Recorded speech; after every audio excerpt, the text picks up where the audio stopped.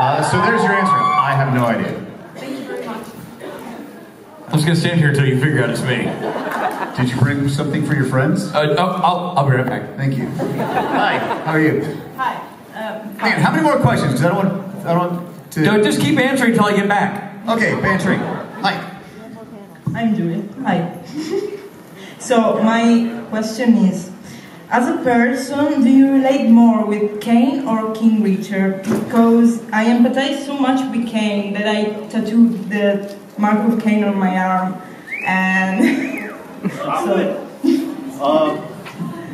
Well, I hope for my family's sake that I, I feel more King Richard than Cain. Although my wife and I were in a fight the other day, and uh, she maybe was saying I was an asshole. Not entirely, but she was like, um, she's like, maybe this is why you play so many. I was, you know, I got a fight outside, and I lost my temper about something.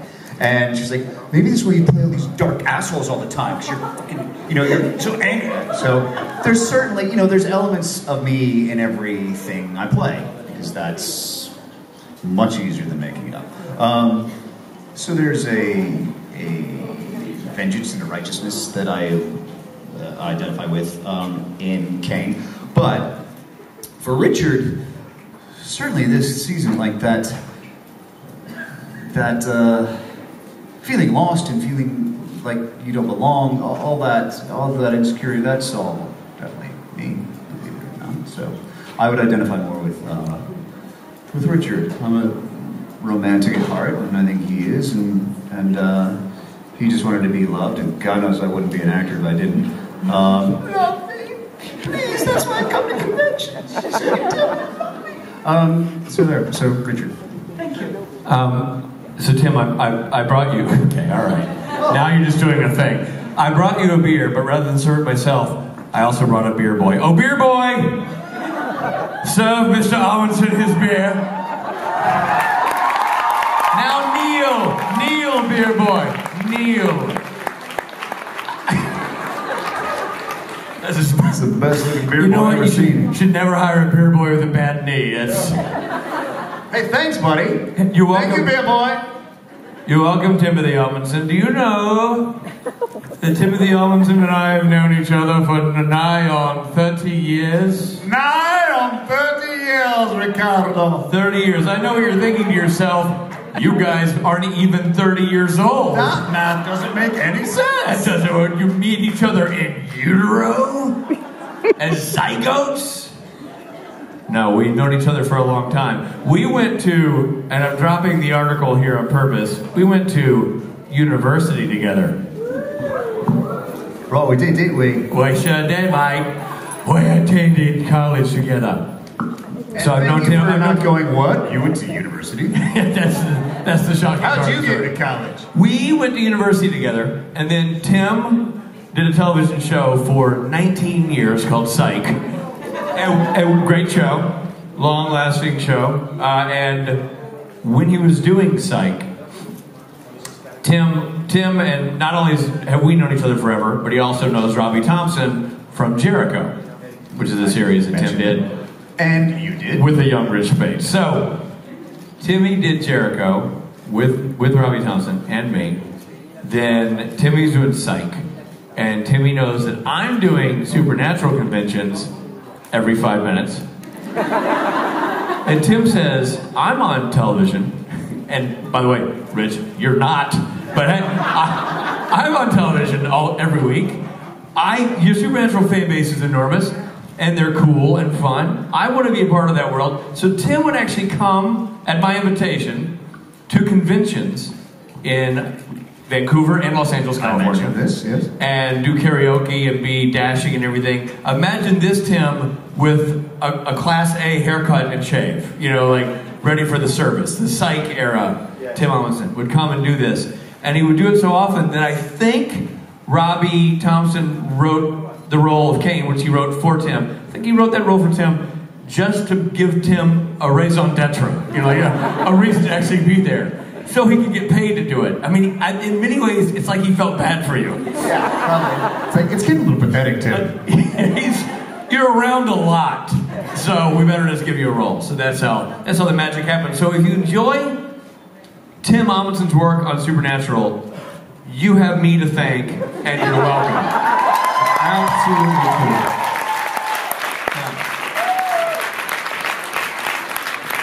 I gave them Timmy O. You're welcome. Something else you should know about this weekend, people, and I have this straight from the horse's mouth, this being the horse. Tim is going to be doing a lot of costume changes this week.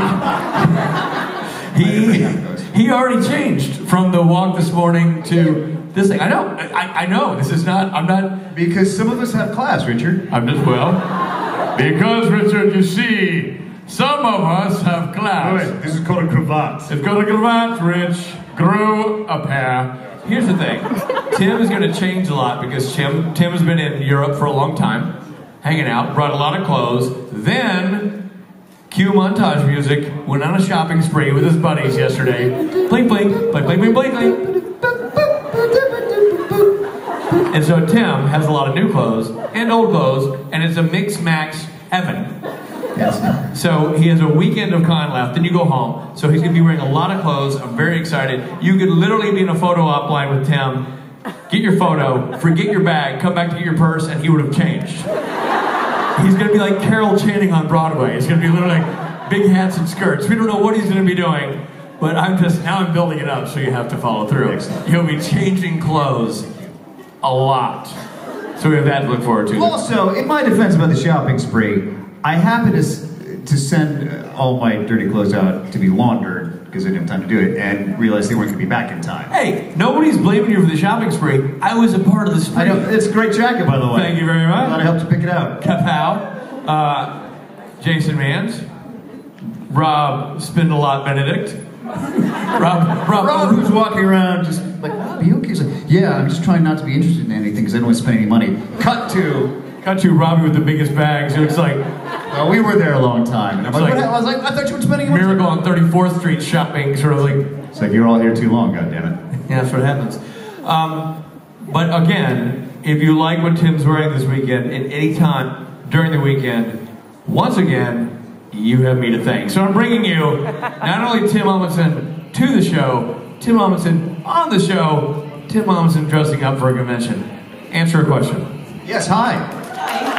Um, my question actually works for both of you, if Richard's around. Uh, Why sorry, am I? I'm sorry. I'm not, I'm not that. going anywhere. I'm here. We're just going over Um, here. So after you talked about Thrilling Adventure Hour um, last year, I caught up with the podcast absolutely. Which, I'm sorry, do you know, who knows Thrilling Adventure Hour? Okay.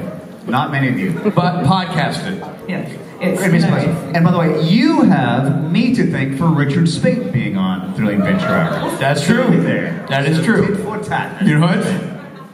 Checkmate. Uh, Yes, darling. Um, so I absolutely love the podcast, and I wondered if you could um, talk about um, the, your favourite character that you played on the podcast. oh, favorite character from the Thrilling Adventure Hour podcast. I'm going to go first because I've done it a lot fewer times than Tim, so it's easier for me to choose.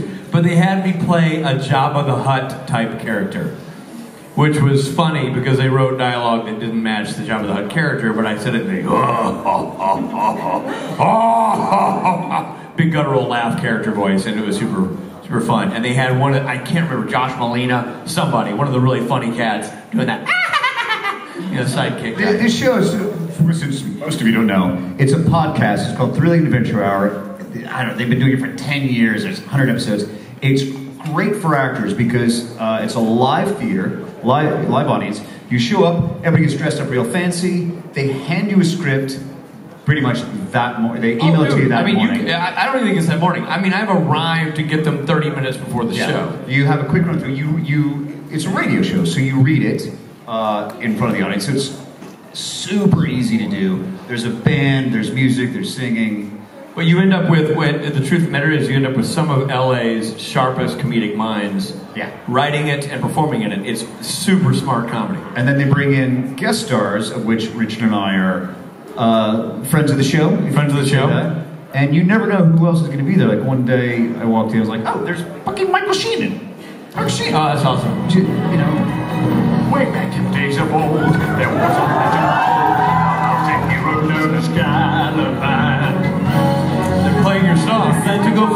now? I think they're playing you off. I think the orchestra just struck up.